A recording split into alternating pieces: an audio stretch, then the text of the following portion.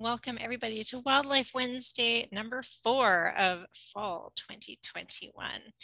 So we're joining from different areas across Canada and possibly even the States and further away as well. Welcome. We're really glad that you're here. Normally I would be in Calgary, but today I am joining you from Kelowna, BC. So in the spirit of reconciliation, I begin by acknowledging that the land that I'm gathering here on is the unceded territory of the Syilx, the Okanagan peoples. We also want to acknowledge with gratitude that we live, play, and work upon the traditional territories of the Blackfoot Confederacy, the Siksika, the Kainai, the Piikani, the Tsuut'ina, the Haudenosaunee Nations, and Métis Nation Region Number 3, and to all people who make their homes in Treaty Region 7, or Treaty 7 region of Southern Alberta. Welcome, we're so happy to hear, have you here.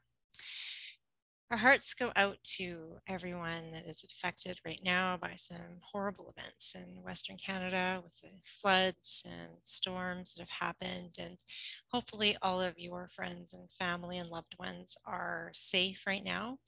Uh, I know the situation is changing uh, moment by moment in some places. And uh, so we just continue to, to have everyone in our hearts to hopefully have this resolved very, very shortly.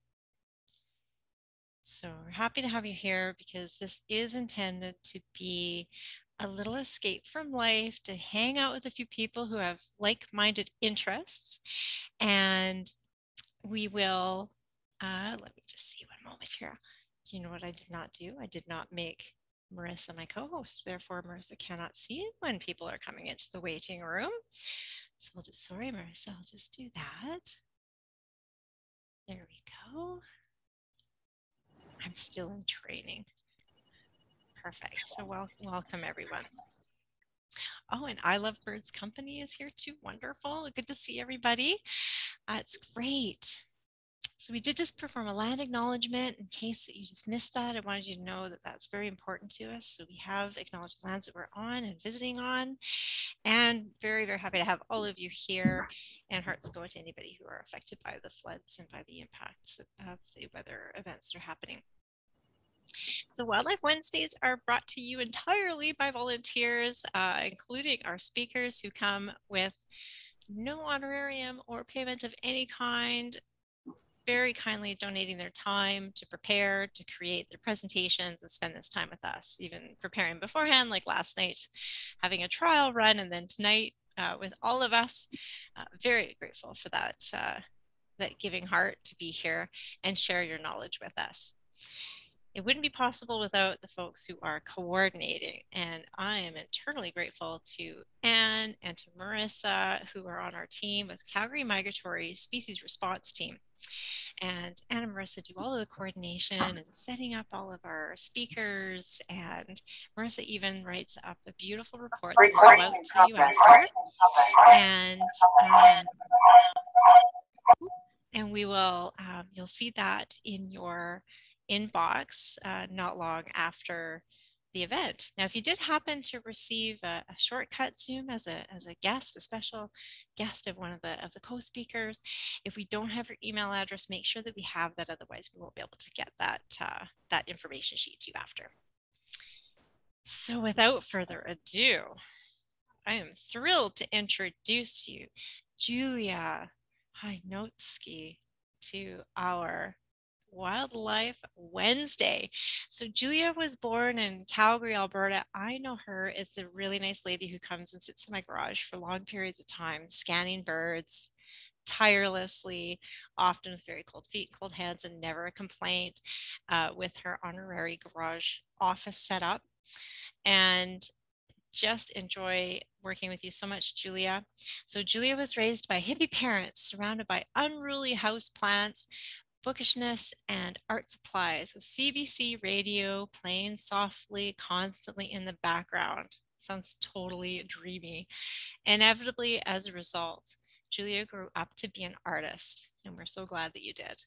A graduate of the Alberta University for the Arts, her multidisciplinary practice includes digital and analog photography and seeks to ask questions and inspire curiosity about the complex relationships between humans and the natural world. Julya has completed artist residencies at the Beaty Biodiversity Museum in Vancouver, BC, at Kinship House, Vulcan County, Alberta, and the Empire of Dirt, Creston, BC. I love that, the Empire of Dirt. You need to tell us more.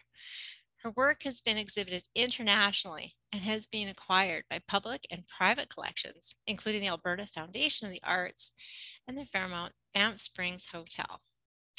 Julya's most recent adventure, supported by grants from the Calgary Arts Development Authority and the Alberta Foundation for the Arts, involved building a mobile natural history collection laboratory, a combination tiny camper and workspace, the Alfresco Science Machine and explore the many ecosystems of Western Canada, from Alberta's Writing-on-Stone Provincial Park to the Gwaii Haanas, is that how I say that? Gwaii Haanas National Park Reserve in British Columbia and Wood Buffalo National Park, Northwest Territories. If Julya is not in her home studio working on something tiny, she's out in the forest working on something big. Julya, it is so great to have you. Thank you so much for being here and spending this time with us. And so just so everybody knows, we did ask Julya last night and and and yeah, clap, clap, clap. Thank you very much. And you actually have um, some little things you can play with at the bottom of your Zoom with reactions and feel free to to applaud, put your hand up, ask questions, or put your heart up if you hear something that you're enjoying. And um, so what we're going to do is we're going to have Julya has a presentation for us and you are welcome to ask questions throughout the presentation. We did check with Julya to see what she prefers and that is totally okay. And I was thinking too that there might be an image or two where you're like, whoa, I need to see that again. If you could please stop and blow that one back up because it's pretty incredible. And then after, um, once all of our questions and answers are done, we're going to turn off the recording and we're going to invite you to stay for another 15 or 20 minutes and just have a casual, um, just a visit if you would like to, because we've we have found that sometimes people like to stay after a little bit and we do want to give you the opportunity because in today's day getting out and visiting is not so easy and it's a lot of fun to meet one another so in any event, without me chattering along any further, Julya, welcome. Thank you for the lovely introduction. Um, I'm really excited to be here too. This is an exciting new project I've been working on, so happy to uh, share it with everyone.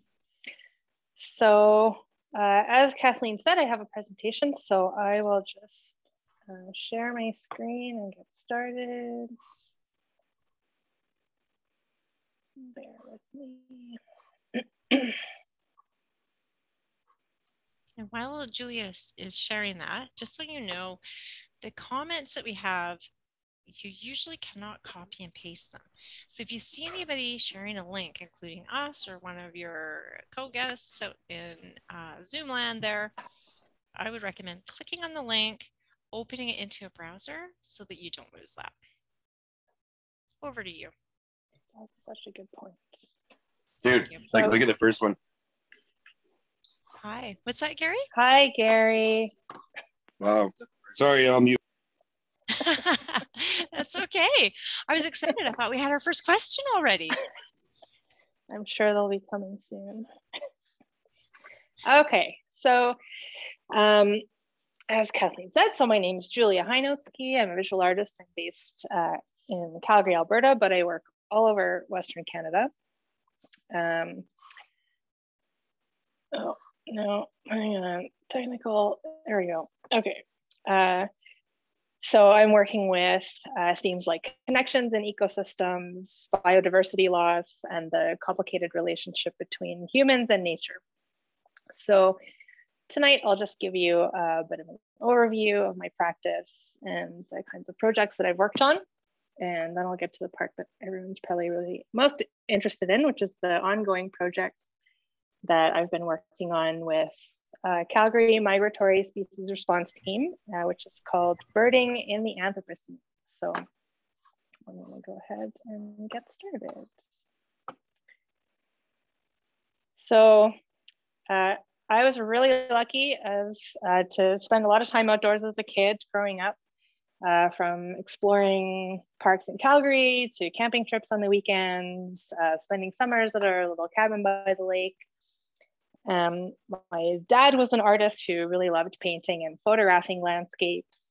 And my mom, who is also in the audience tonight, is a very accomplished amateur botanist and student of natural history. So um, I really grew up surrounded by these places and ideas and practices. So that's little me, and it pretty much looks just the same. If you went for a walk with me today, I would look just the same. uh, when it came time for me to go to university, I was really interested in biology and botany. So I took some first year science classes, but I have to tell you guys, I took grade 12 math uh, three or four times trying to get a mark high enough to get uh, into a science program. And I just never quite managed to get above maybe a 60.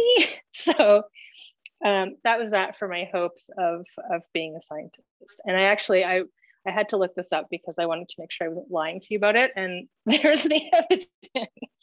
Uh, let me draw your attention to unit two, which was especially a successful part of the program. and I have to say, this was in continuing education where I was actually really applying myself, not just high school. Anyway, so fast forward from all those disappointing math marks, um, maybe a decade later, I got into art school. And uh, so I graduated with a degree in photography from ACAD, which is now Alberta University for the Arts. Um, and I've been pretty much working um, between commercial photography and fine art uh, ever since. So um, I think uh, in the end, it all kind of worked out because uh, working as an artist, you can still you, can still explore all those themes that you're interested in um, but from a bit of a different angle. So I can still um, study all those scientific ideas and uh, and knowledge about nature, um, but take take my own angle on things. Um, in my practice, I read so many things that were written by really talented uh, scientists and researchers and knowledge keepers, and so that um, really guides a lot of what I do. uh, so as an artist, I have the opportunity to be very deeply biased uh, about the things that I'm that I'm sharing. So, uh, as a scientist, there are of course necessarily conventions to be adhered to in describing your findings. Uh, there's a risk associated with speaking with great affection about the subject of your research.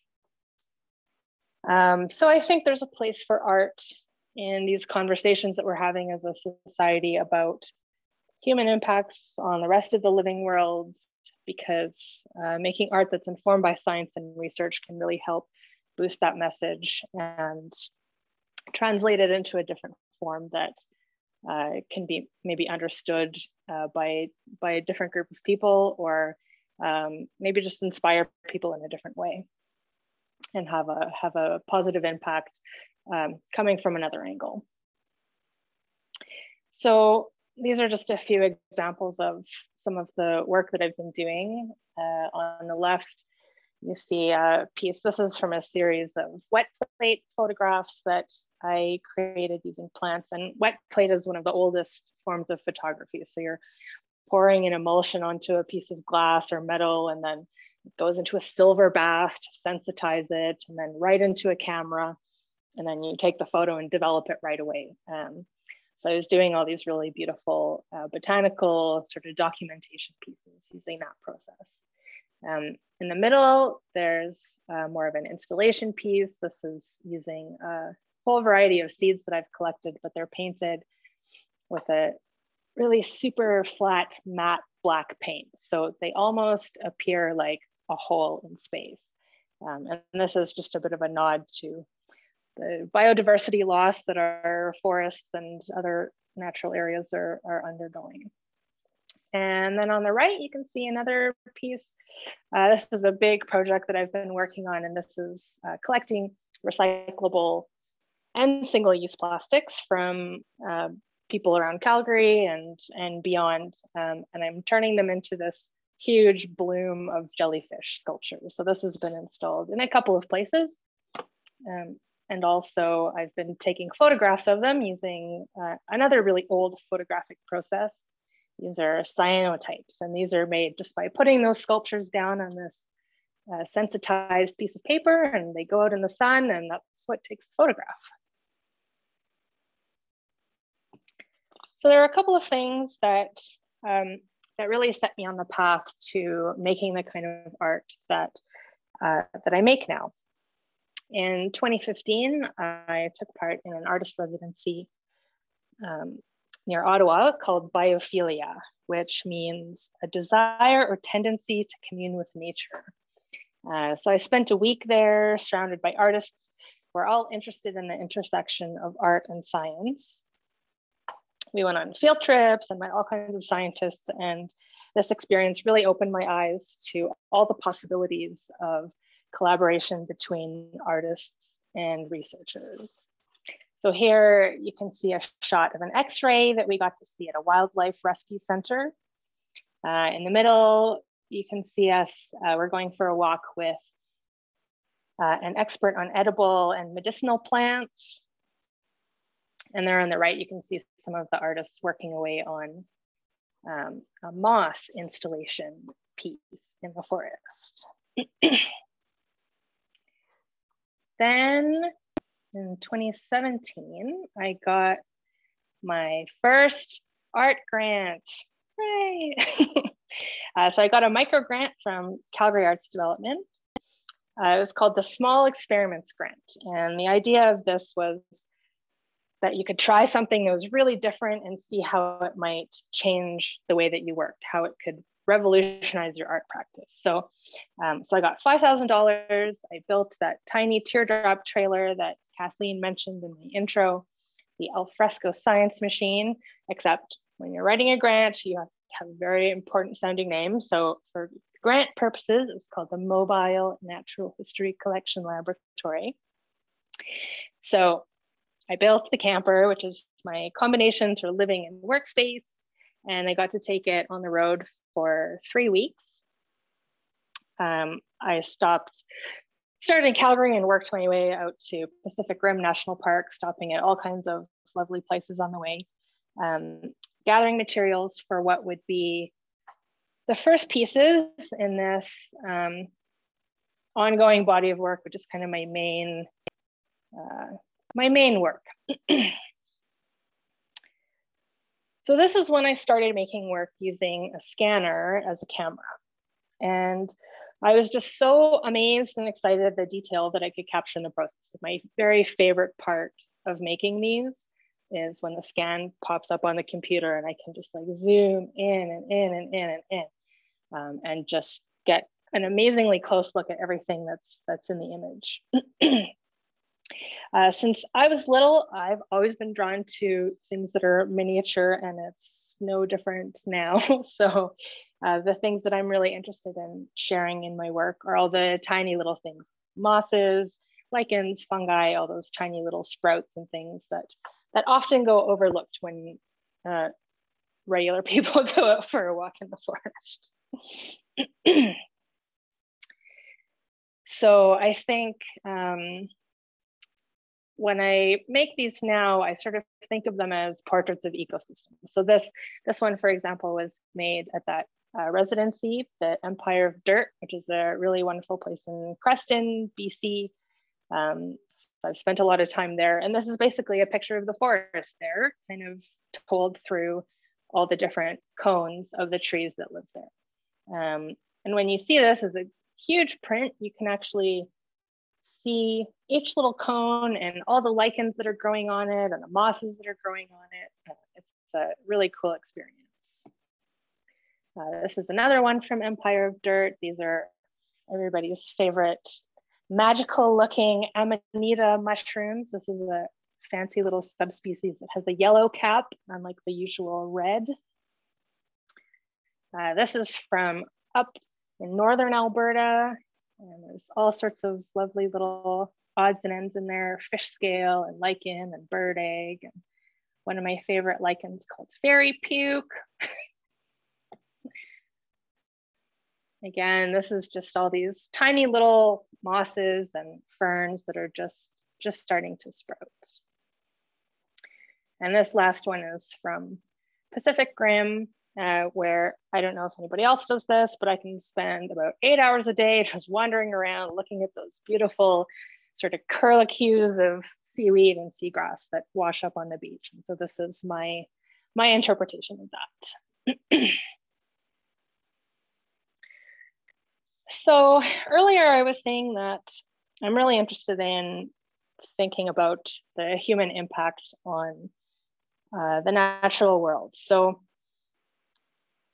as I thought about this idea more and more, it sort of occurred to me, why not literally show how we're implicated by including um, by including my own hands. Uh, also acknowledging, of course, that I'm definitely part of the problem. I'm part of human society. I'm not uh, exempt at all. Um, so this was just a way of thinking a little bit more critically about those ideas. So we'll kind of come back to these things a bit later when I get to the birds as well.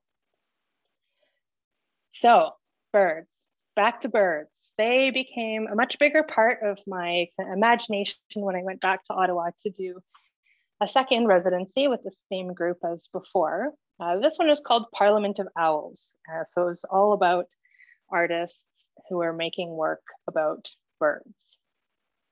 So again, we got to go to some really amazing places and meet some just uh, exceptionally knowledgeable people.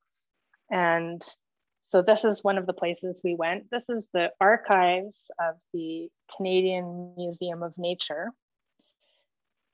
And we got to spend an afternoon there peeking into all these cabinets. Uh, so you see on the left, there's a big collection of hummingbirds. Um, and they've been collected over so many years. I can see one tag right now that says 1931 uh, another one 1975, 1965. So they have a huge collection of birds that range um, quite extensively over time. And then in the middle, you can see a cabinet full of owls. And on the right, um, some of you might recognize, this is a bird called the ivory-billed woodpecker, which is almost certainly extinct. Um, and it's also called the Lord God bird because it's so striking and large that when people would see it, they would say, Lord God. So we got to see some of those too. and then just because who doesn't get obsessed with all these specimens in the museums, here's another few snaps. We got to see lots of nests and again, bird eggs that had been collected over many, many decades in many places and birds from all over the world, really. uh, and one of the most interesting, I thought, field trips that we got to go on was we got to go on a morning survey with the folks at Safe Wings in Ottawa. Um, so they're, if you haven't heard of them, they're a group that does uh, similar similar work to um, CMSRT. And so we got to go out with them one morning while they were serving downtown Ottawa looking for um, birds to rescue that had struck the windows. And here you can see the group um, looking at one of the sort of problem buildings that we stopped at. And uh, by the time by the time the walk was over, I was on my phone already sort of Googling to see if there was a similar group in Calgary. And uh, it just so happened that this is pretty much right when Kathleen, you were getting started. So I found you almost right away. so eventually I was able to connect with Kathleen um, and the rest of the gang. And so we got ourselves organized so that I could get started. Um, as Kathleen said, camped out in her garage for hours at a time, uh, working on this project that I'm calling Birding in the Anthropocene. Uh, so I mentioned earlier that I'm using a scanner to do my work. Um, so it's a very high resolution flatbed scanner. It's meant for scanning tiny little photo negatives. so you can imagine if you're scanning something like that that you want to make a print out of, that scanner is gathering a lot of detail. So that's what I'm using as a, as a camera and it has a similar effect with all the, the things that I collect and scan, including the birds. So I spent a few weeks in Kathleen's garage this summer scanning all the deceased birds that had been collected during uh, two survey seasons, which was fall 2020 and spring 2021. um, it was really interesting. Before I started, I was actually, I was kind of apprehensive, even though it's it's kind of a cliche at this point that artists are always like collecting dead things. Um, I have a lot of bones and skulls and antlers and stuff in my collection, but I don't think I'd ever really handled a, a bird. Um, so it was uh, an interesting experience to get to work with them. And I don't know if you've ever held a bird, but the first one that I picked up, it was just so light. Um, and of course, it makes perfect sense because um, their bones are hollow and so light so that they can perform this magical act of flying, just leaping into the air. So they have to be very light. But um, holding those little birds really gives you a very profound sense of just how fragile they are. So um, when you kind of think about these poor little birds hitting the windows, it's it's really reinforced by that feather feather weight. Uh, so the project is still is still ongoing. I'm um, certainly still going to be continuing to document the birds, um, but it's got a couple of pieces to it. So one of the first things that um, that we created was this aggregation of all the scans.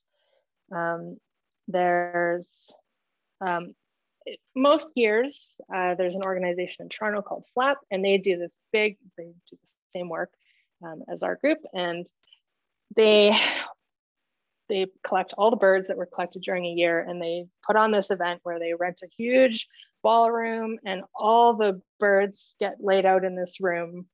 Um, and because they're on a different, busier flyway, the number of birds is much higher than here, luckily for us. Um, but it's just uh, such a striking thing to see this huge room basically carpeted with little birds that are all window strike um, victims. So during COVID, of course, a lot of these in-person events weren't going on. So instead they put on an online event and we put together a video that was our contribution to that event called, uh, the event was called When Worlds Collide. Um, so I'll just show you the video. It's just uh, about two and a half minutes long. And it was just um, an attempt to sort of create that same effect as the layout would. So, and it had quite an effect on me too. When I was working with the birds, I would usually just have one out at a time. So take it out, get out of its little bag, scan it, make a few notes and put it back. So I only ever really had one at a time. So even for me to put it together and see them all, um, all sort of lined up like this was um, kind of, kind of surprising and sad. So um, I'll just start the movie. Like I said, it's just about two and a half minutes. So.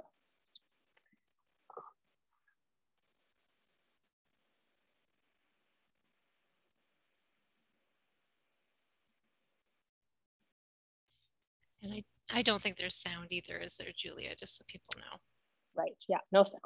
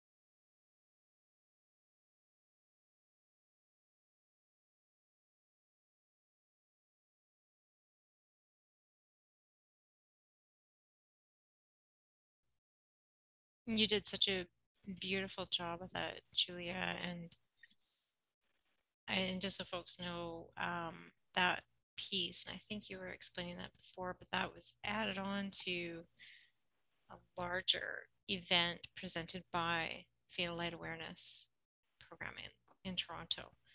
And uh, and Marissa's looking for the link to share you, um, share with you the, the whole video uh, to watch Julya's work incorporated into that. Awesome. And she's Thank already you. got it in the chat. You're the best team. Amazing. Amazing. Okay. Just a reminder if anybody has questions to um, to let us know. I know it can be it can be very hard to see deceased birds, but just know that none of these are suffering. These ones had passed when we found them, and yeah. Thank you. A good point. so um, now I'll go through and just uh, we'll just stay with a couple of the images a little bit longer. Um, I am a great collector of interesting facts about all the things that I study. Um, and birds uh, are absolutely no different than anything else. So um, I have a few interesting facts that I'll read to you about each of these birds. And these are all from the Cornell Lab site, All About Birds, which is a really, really awesome resource. And that's another one I can put that in the chat afterwards, but um, they're just really wonderful. There's so much to discover there. So um, these are all directly quoting from Cornell. so this is an ovenbird. Uh, extensive, uninterrupted forests with relatively closed canopies 50 to 70 feet above the ground seem ideal. Even fairly large forest patches of 250 to 2,000 acres may not be able to support ovenbird populations unless larger forests are close by. Its nest, a leaf-covered dome resembling an old-fashioned outdoor oven, gives the ovenbird its name. Ovenbirds migrate with storm fronts on their spring and fall migration routes. Large numbers are sometimes killed as they collide with towers and tall buildings along the path of these fronts.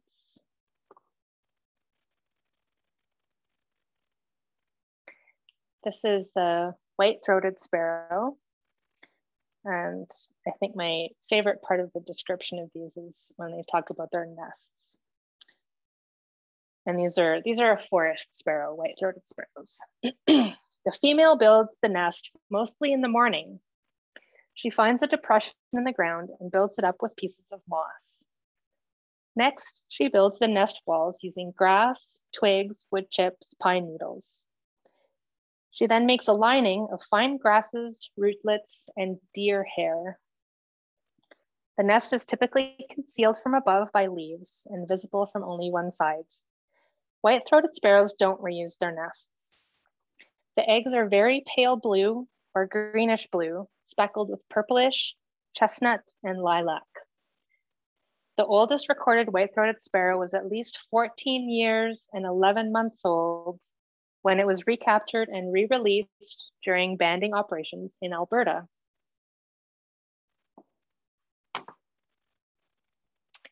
This is a yellow-rumped warbler. These birds eat mainly insects in the summer and switch to berries in the winter, including juniper, poison ivy, poison oak, grapes, as well as bayberry and wax myrtle, which have a waxy coating that only these warblers can digest.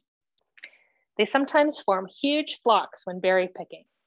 And if another bird gets too close, they indicate the infraction by holding the body horizontally, fanning the tail, and raising it to form a right angle with its body. Migrating yellow rumped warblers, like many migrants, are frequently killed in collisions with radio towers, buildings, and other obstructions. And this is the musical act. This is the red-eyed vireo. Each male sings 30 or more different songs, and neighbors have unique repertoires. Over 12,500 different red-eyed vireo song types have been recorded.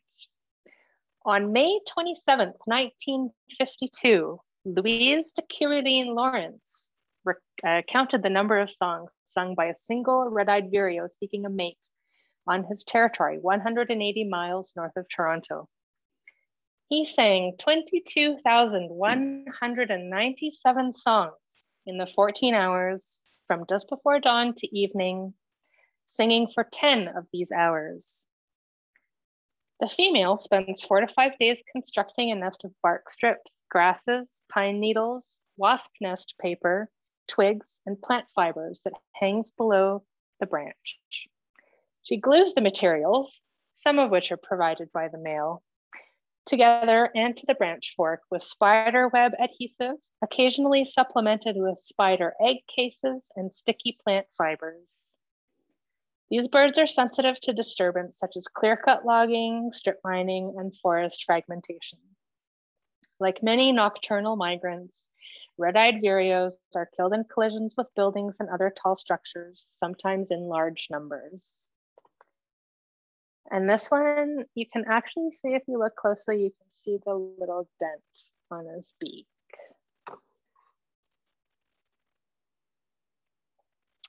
Red-breasted nuthatch. Their calls sound like tiny tin horns being honked in the treetops. Nuthatches are among the few non-woodpeckers that excavate their own nest cavities from solid wood Female red-breasted nuthatches usually choose the nest site, though males without mates may begin excavating several cavities at once in an attempt to attract a female. Once they've excavated the cavity, the female builds a bed of grass, bark strips, and pine needles and lines it with fur, feathers, fine grasses, and shredded bark. Both males and females apply conifer resin to the entrance, sometimes ap applying it with a piece of bark a remarkable example of tool use. So now um, I was talking about the detail earlier. So now I'll show a few detail photos um, so we can take a look at some of these a little bit closer up and see some of the really neat little bits. Uh, so this is a palm warbler. About 98% of all palm warblers breed in the vast boreal forest of Canada. This remote region is vulnerable to extractive industries such as peat harvesting, oil development, and logging, and in the long term to climate change. Palm warblers are also one of the most frequently killed species at lighted towers across the United States. A TV tower in Florida has caused the death of more than 1,800 palm warblers during a 25 year period.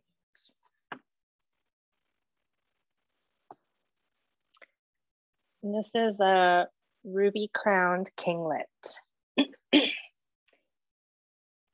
this one, you can see all the little whiskers around the beak, and that's uh, an attribute usually of an insect eater because it kind of helps pull them into the beak as they're chasing them. The ruby crowned kinglet is a tiny bird that lays a very large clutch of eggs. There can be up to 12 in a single nest. Although the eggs themselves weigh only about a 50th of an ounce, an entire clutch can weigh as much as the female herself. Ruby crowned kinglets make their globe shaped nests in trees, occasionally as high up as 100 feet, using grasses, feathers, mosses, spider webs, and cocoon silk for the outer structure, fine plant material and fur for the inner lining. Even though they're tiny birds seemingly overflowing with energy, metabolic studies on ruby crowned kinglets suggest that these tiny birds use only about 10 calories per day. ruby crowned kinglets use their long, bubbly, and amazingly loud songs to establish territories. It's more energy efficient than chasing and less dangerous than fighting.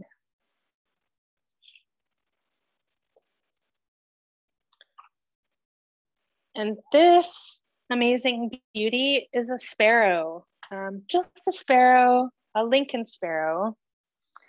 Um, this one also has a lovely description from Cornell.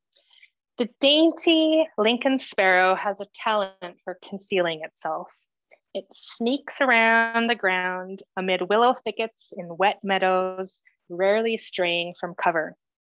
When it decides to pop up and sing from a willow twig, its sweet jumbling sound is more fitting of a house wren than a sparrow. Though its song might conceal its sparrowness, its plumage says otherwise.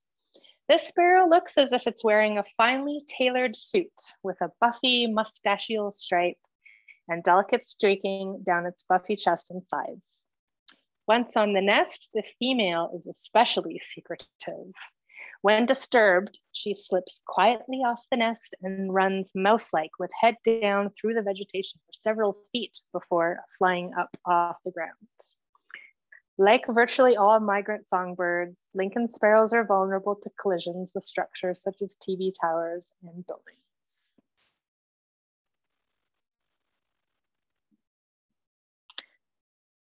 This is an orange-crowned warbler. The male orange-crowned warbler's song is far more variable than that of other wood warblers, so much so that the males can be told apart by their distinctive song patterns.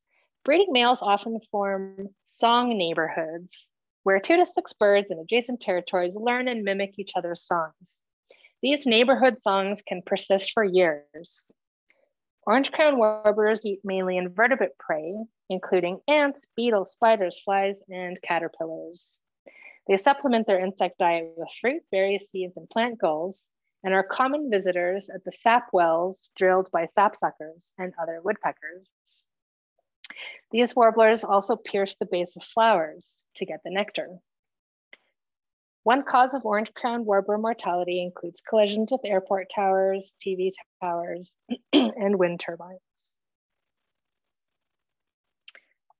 And the last one, I just wanted to come back to that red-breasted nuthatch that I showed you before, um, just so you can get a look at those amazing feet. This is one of my favorite parts of these birds.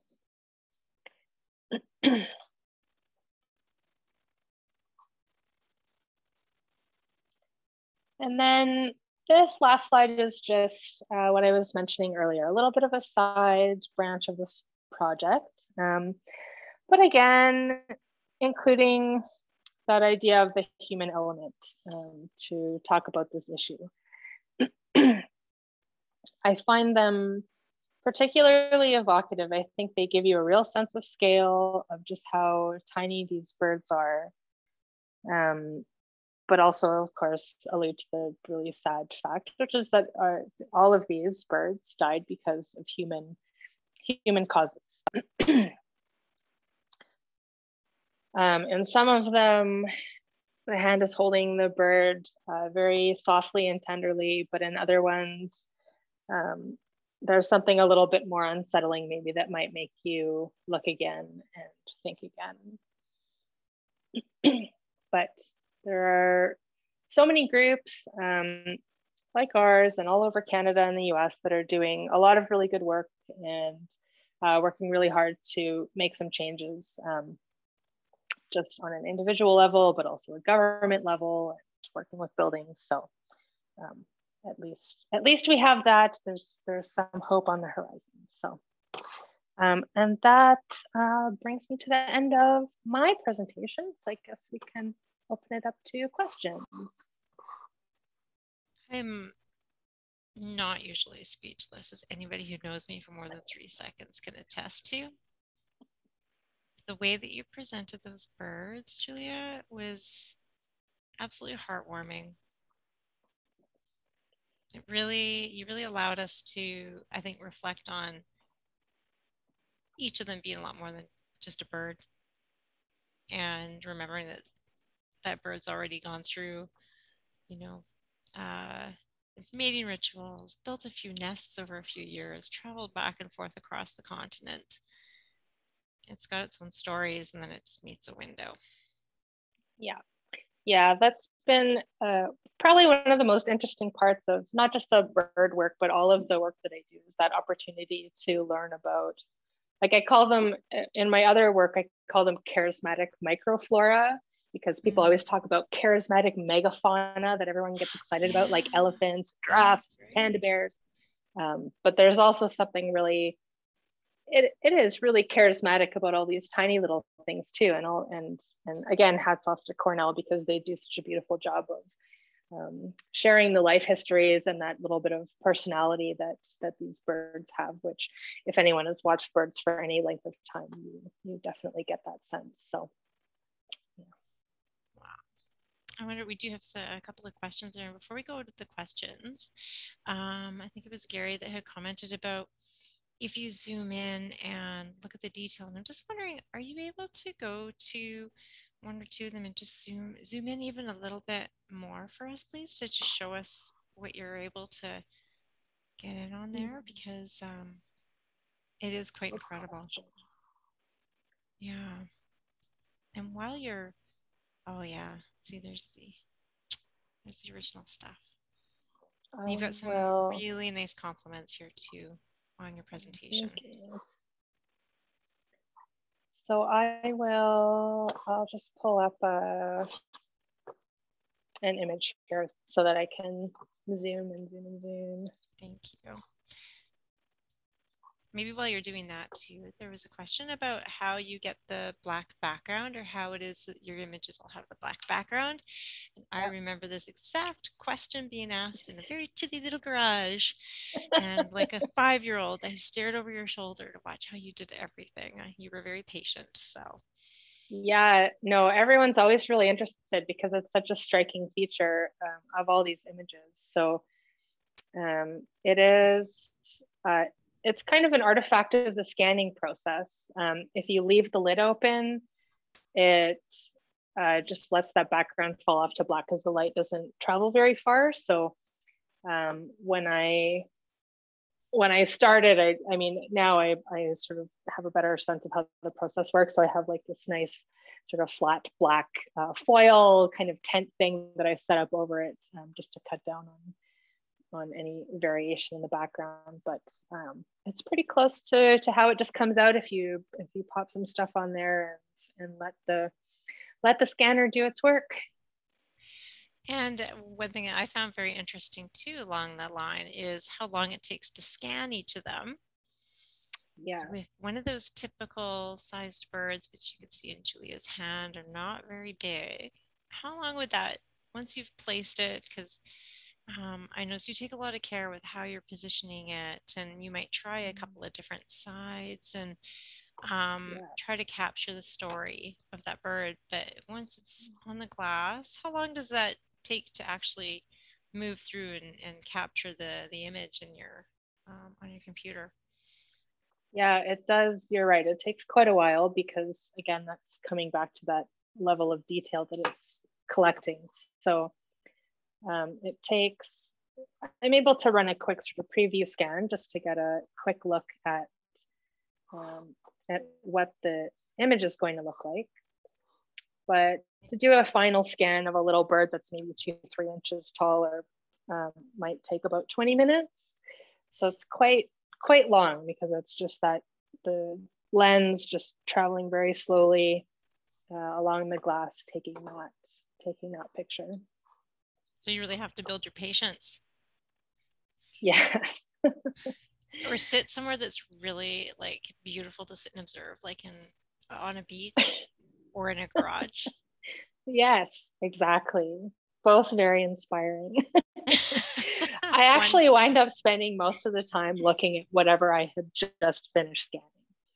So oh, I guess hey. I'll yeah, I'll look at I'll just spend that time gazing at you know, the last bird while I wait for the next one. Yeah, that makes sense. I'll just check here. Yeah. And if you have questions, you're welcome to unmute as well. Oh, and we got the oven bird there. So this is the oven bird again.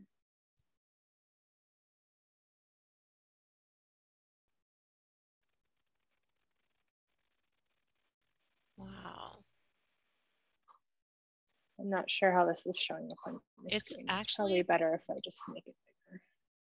Wow, it's, it's pretty clear. Especially if you look up in the upper left-hand corner at the white and black feathers, it really it helps you to see how clear and detailed that is. Little bits of dust and and you can see the structure of the feather. And if Anne was here, she she's been studying up on that. She could have told us the all of the names, the parts of the feathers. But that's that's incredible.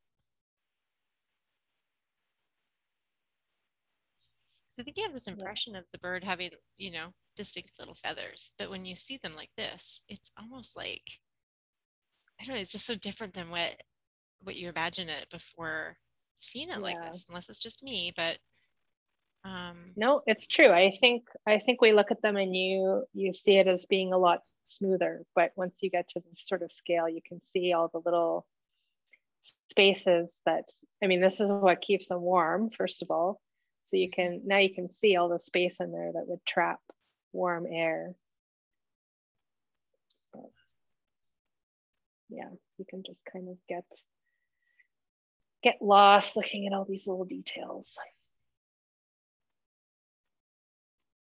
Amazing.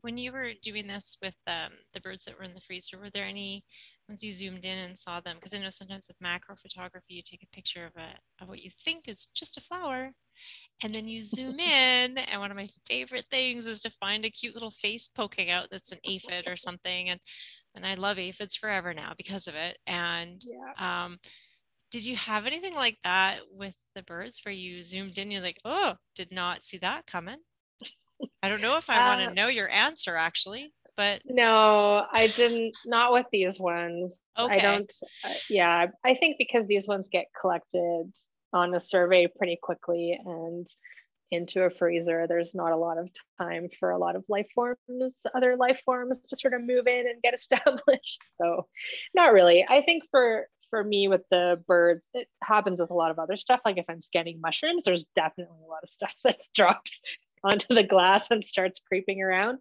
Oh, um, oh, wow. But, but yeah, not wow. so much with the birds. With the birds, it was more things like uh, just being able to see their feet at that uh, level of magnification was fascinating. I mean, yeah. they're, they're tiny little birds. They're usually flittering all over the place and you can't you know you can't get a good look at them or those Even, all the little whiskers on the beaks of all the insectivores suddenly you're like oh that's. That's fascinating and the little feet mm-hmm. like the, i think one of the first ones that you showed with the the feet you could see little tiny pads and yeah. and very dinosaur like very dinosaur like yeah.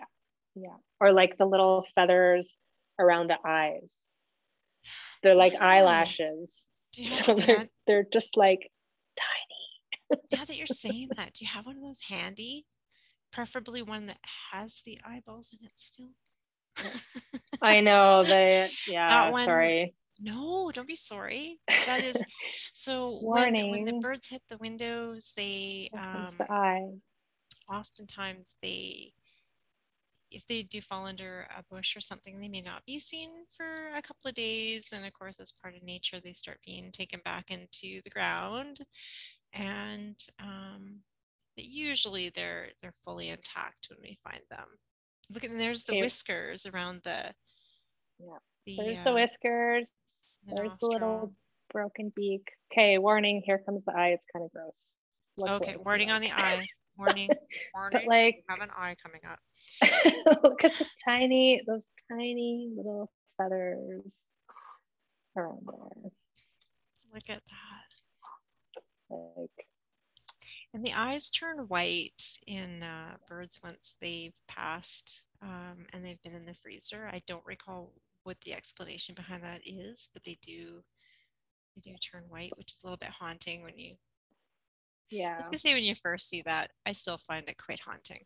But yeah. I think that's a little bit you see that happening there. Yeah. Yeah. I'm glad I made you laugh, Kate. Uh, Kate was one of our downtown surveyors, and uh, I'm glad you had a good laugh because usually it's uh, Kate. Kate was one of the ones who'd love to text me at five in the morning and say, oh, I have a find. And it would be like a baked potato randomly found on a street or a I used to find odd food items downtown Calgary. So uh, I'm glad you got to make me. I mean, we made you laugh because uh, you've made me laugh a ton. Hi from Treaty Six. Oh, wonderful. And Treaty Three. Fantastic. Fantastic. It's so great to have you here. Um, let me just see. And Marissa, if you've spotted questions, feel free to. There's quite a few comments. See, and you're also welcome to unmute and chat too. That is more than welcome. It's kind of the nice thing about having a smaller group. Yeah, and so Jessica, yeah, you got that answer. There's no velvet laid over top of what goes on the scanner. It's just how it naturally works out.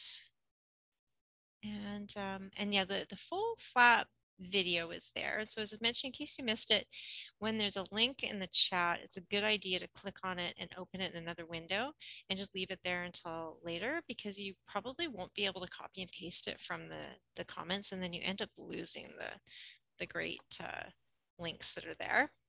And the yeah. element of the dead birds remind me of images of Darwin's specimens. Interesting to contemplate how people use animals and their bodies. And that's so true, Helen. Um, is that your mom?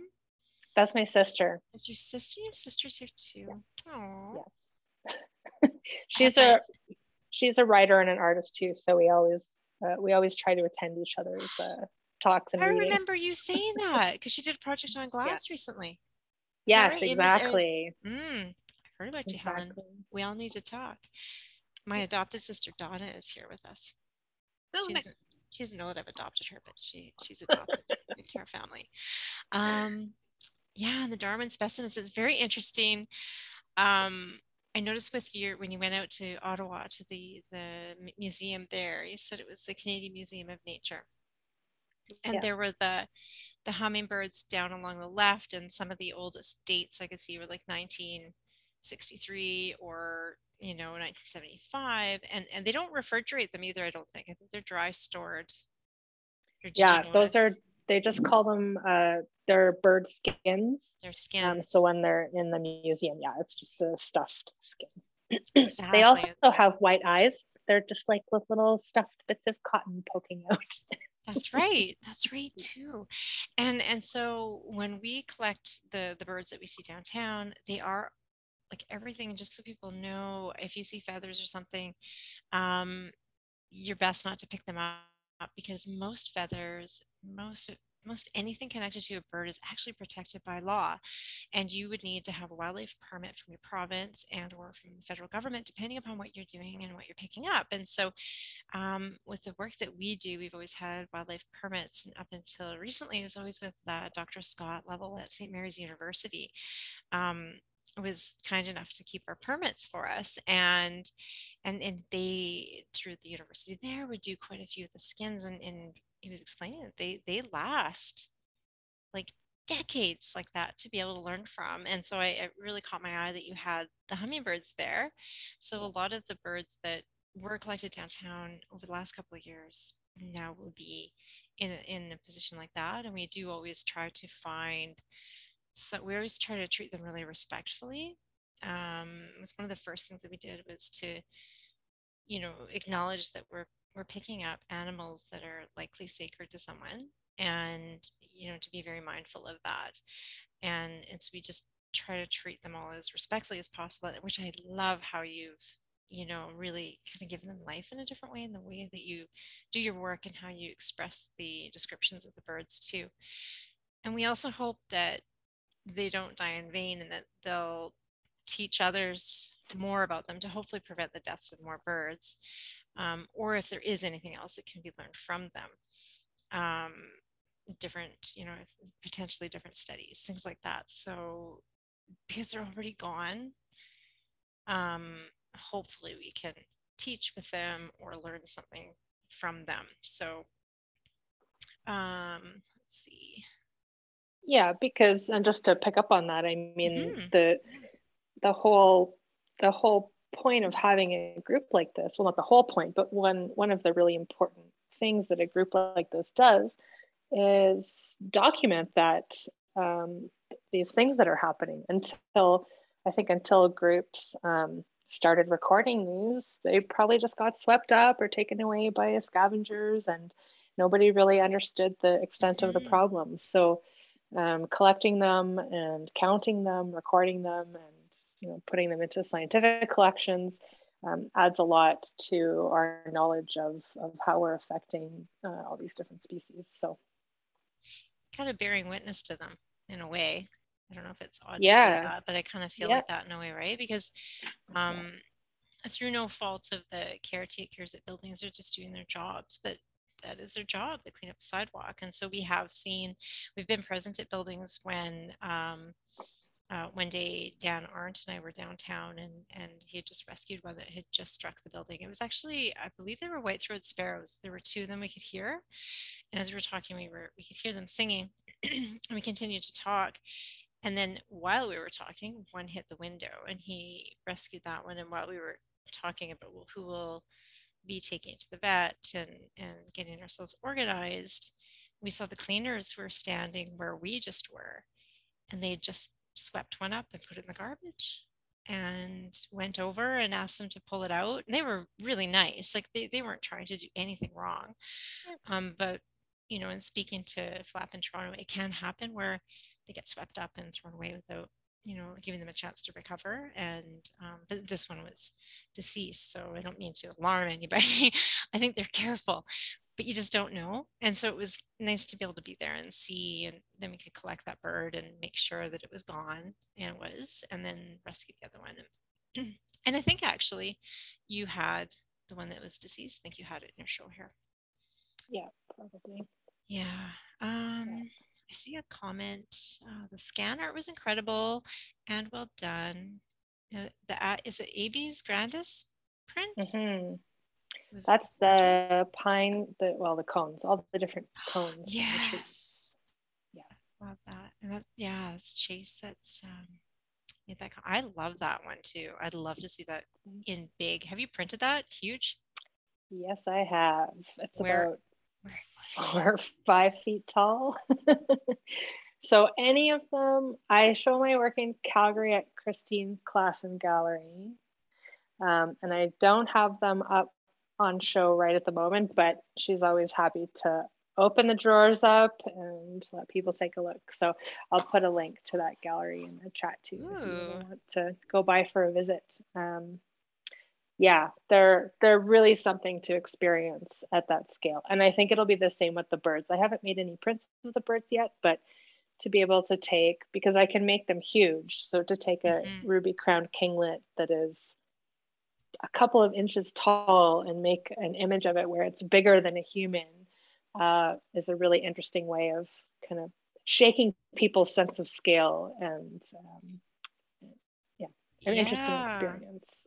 that does make sense. So the Ruby Crown Kinglet um, and the experts. I am not the expert. I've learned a ton since starting this, but if the experts hear me being correct, go ahead and correct me. I'm, my feelings will not be hurt. But if I'm recalling correctly, the ruby crown kinglet is actually just slightly heavier than a heavy bird. Like they're tiny, tiny.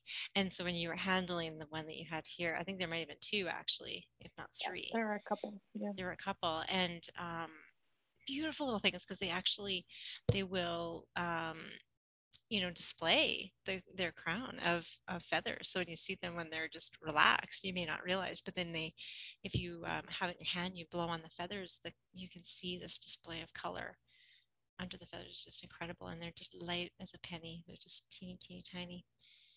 Um, let's see. Bristles are the feathers i believe. Ah so we have a discussion here going on about the about the feathers and um, birds. And Jessica, you are, oh, you're in Peterborough and it's 10 p.m. 11 now. She's still on? She might have gone to bed. Oh, you are there. There you are. Welcome. And I wish I could pronounce, is it? No, I'm not going to try because I don't want to disrespect it. What a beautiful name. Let's see. Okay, all the birds there. So Helen's asking, the images of the little birds feel so mournful, and they really do. What do you think the relationship of that emotion is to conservation? What a great question. Yes. good question. Um, oh, it's hard to work in this field these days and not feel like I, I feel like anyone working in this sort of area is probably going on this pendulum ride back and forth constantly. Um, and I'm no different between hope and just utter dread and horror for what's happening. So I think while I have a hopeful aspect to all this work, which is that I hope that people will see it and be moved to make changes or push for changes at a higher level. I'm also very cynical about the whole thing because I feel like really all I'm doing is documenting all of these things that are just disappearing and it's too late. Um, we've destroyed too many forests, we've messed up too many places. Um, and you heard in almost every one of those bird descriptions, um, they're all, they all just get wiped out by these things that we build. So I think it's a big, it's a big part of making the work is kind of trying to um, process that, that deep disappointment with, uh, with people mm-hmm. including myself. Again, I'm not, you know, I drive a car. I, you know, I do all the things that everybody else does. Mm-hmm. Um, but it, it's, it's hard. I think it's hard to be in this time. And you, when you read about birds, for example, uh, and how it used to be 100 years ago or 200 years ago with the you hear about audubon going to collect birds to do his work and he would have teams of people who would go out and they would they would be wading through just like piles of birds that didn't know what to think of them because they'd never seen you know they hadn't really seen people before and they weren't afraid of people. And so they were just like picking up specimens left right and center and clubbing them. And but you know you hear about the passenger pigeon flocks that would blot out the sun for days at a time because they were so huge.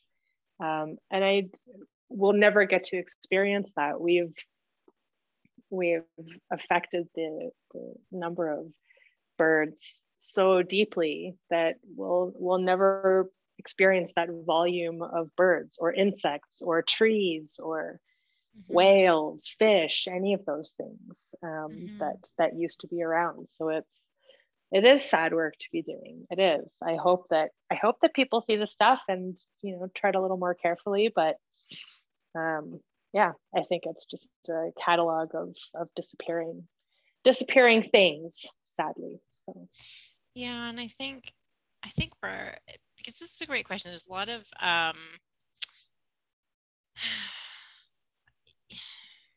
compassion fatigue that people can feel in working in this kind of uh, field. So I think that one thing that um, we do to try to make sure we we find hope because you can get angry. That's a pretty normal reaction. Get pretty mad. Um, but then on the other hand, it's like, well, a lot of people don't realize that their buildings are hurting birds, and so um, I find a lot of hope in that. You know, people will react quite quickly. For example, one of the buildings that we found um, had a bit of a physical trap on it, and um, and so when we reached out to them, you know, they made efforts right away and their team came down and showed off what they had done to fix this particular spot. And, and, you know, and seeing things like that, it's like, I think people really do care.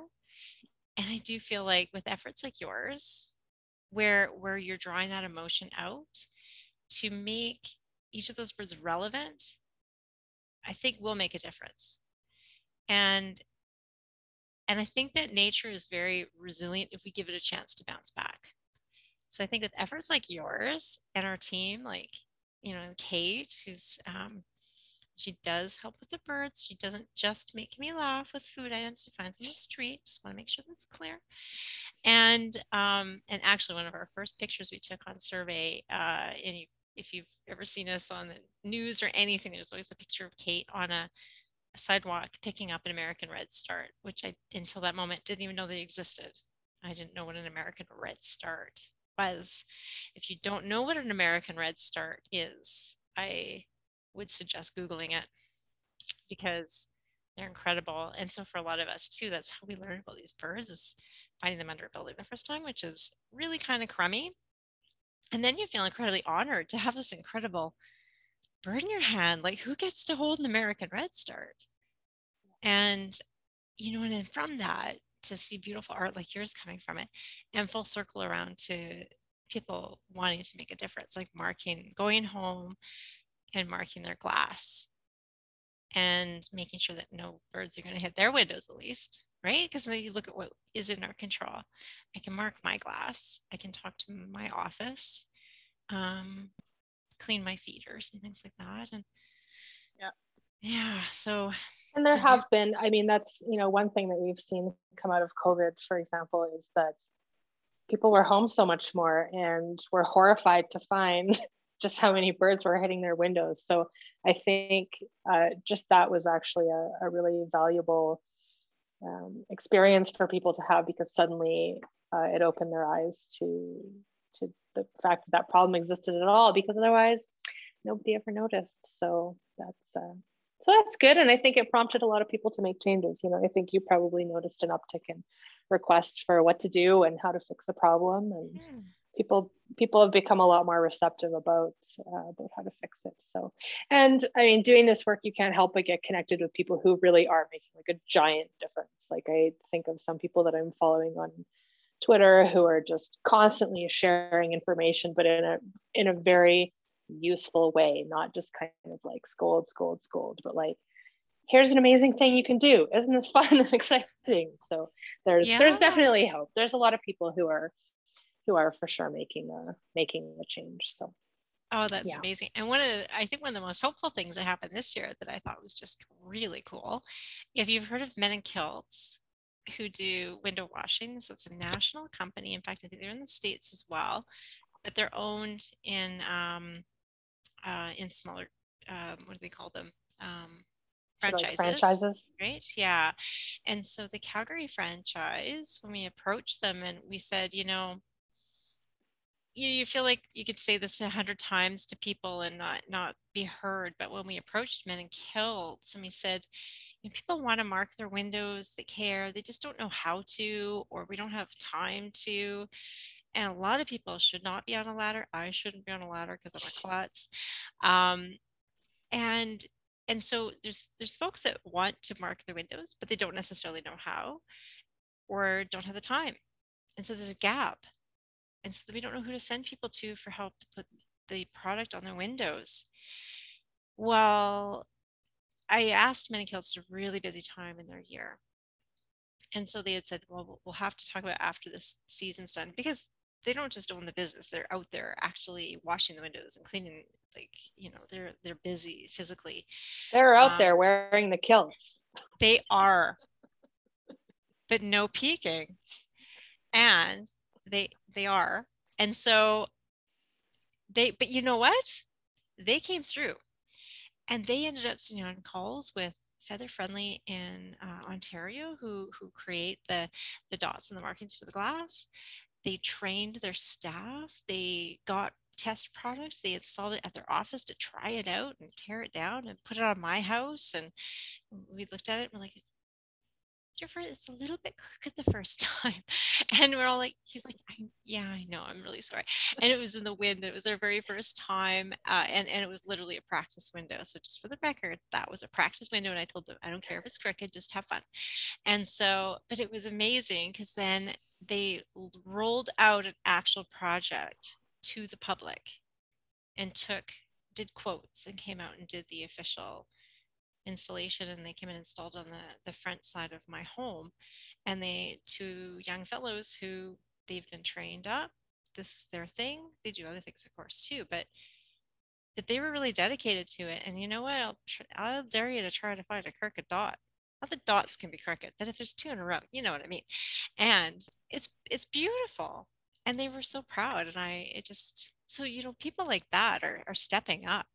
So there's hope to be had absolutely yeah, yeah. they make it easy they make it easy for other people to to do do the right thing so yeah 100% let me yeah. see oh uh, laura said oh dear can you show that birdie again please that was at 807 hmm laura which bird could you please describe it? I'm sorry. I talked for so long that now I'm not sure. Did that one? Maybe, I think we were talking about ruby crown kinglets. I think when that came up, maybe.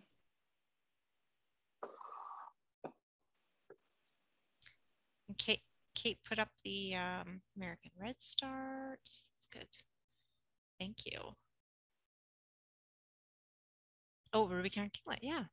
Okay. So that's the that's a detail of the Ruby Crown Kinglet. Amazing. Let us know if you have any specific questions on that. If you just want to look at it, that's good too. Yeah.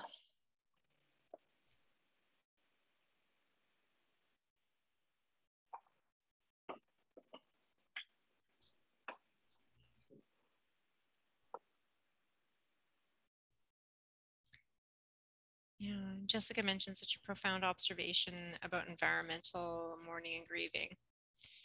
I believe US based artist uh, Brandon Ballengée has done work that uses scanners or x rays of species affected by pollution, contamination, and habitat destruction. Interesting uh, resonances with uh, Julya's work. That is interesting. Yeah, there's a lot of very interesting work out there. I'm going to make a note of that name. Your, yours is the best, though, of course, Well, thanks, Kathleen. I'm just saying that because your mom is here. My adopted sister, Donna, just put her thumbs up. She agrees. She's never wrong. Um, let's see. If I'm missing any questions, do let me know Let's see Laura. That's amazing. I, I know that I had a couple of questions for you. So, like, please yeah. speak up if you guys do, because I'm sure you're sick of hearing me talk. Um, anthropets. Anthrop. Yes. Could you? Anthropocene. Thank you. Anthropocene. yes.